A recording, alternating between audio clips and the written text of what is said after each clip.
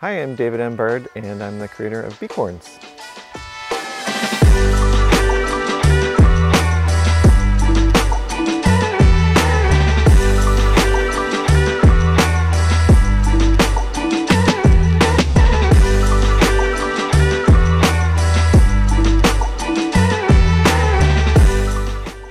When when I was a kid, I always wanted to create amazing stuff, and I'd look at other artists that I really admired, and they were so good, you know. And I'd look at my own work, and I'd get really frustrated by my own work that I couldn't do it.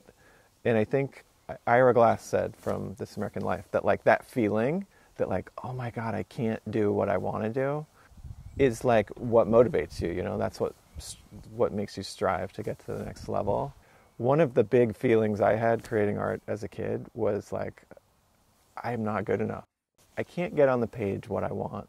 And it's frustrating, you know, you want to get better. So just knowing that that feeling is kind of a good feeling, it's a motivating feeling. I know the future seems so broad when you're that age and there's so many possibilities. If I were to give advice to myself when I was 13, I think I would encourage my former self to invest more time in gaining knowledge I think I was very product oriented and I was always, I had an idea of something I wanted to make and I really worked hard to make that thing instead of putting the time into learning skills. So I love drawing and telling stories through pictures. See my notes from the meeting I was in where I was just drawing, drawing. Yeah, I was like to do items. I was older when I did these.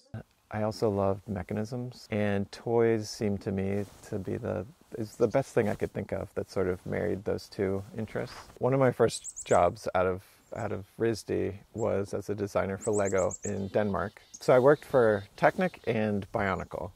It was really my job at Bionicle that led to Becorns.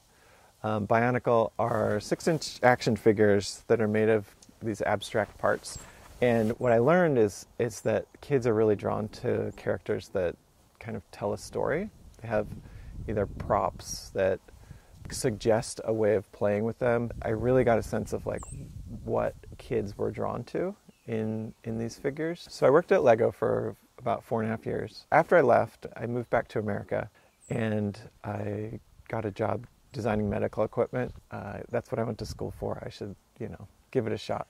So I was sweeping my mom's driveway thinking like, oh man, my job at Lego is so great. Like, am I ever going to find such a great job? And I looked down at my feet at this pile of acorns and sticks. It suddenly hit me, oh my God, everything I did at Lego, I can do with acorns and sticks and, you know, leaves.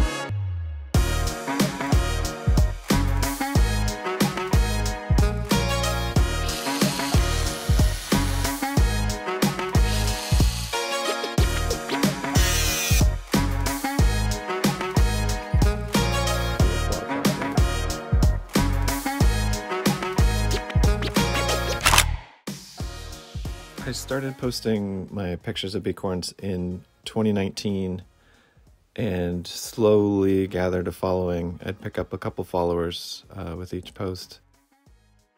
Then, after about two years of that, all of a sudden the algorithm suddenly started sharing my work a lot more. I think part of the reason I grew so fast was because I had been posting for two years, so there was a lot of content for people to go back and read through. One thing that I really enjoy is shooting the becorns with animals. To do that, I usually use bird seed or, uh, you know, whatever whatever I can think of to entice the animals. A lot of times, I'll go online and do some research to figure out like the best way to entice an animal to your yard.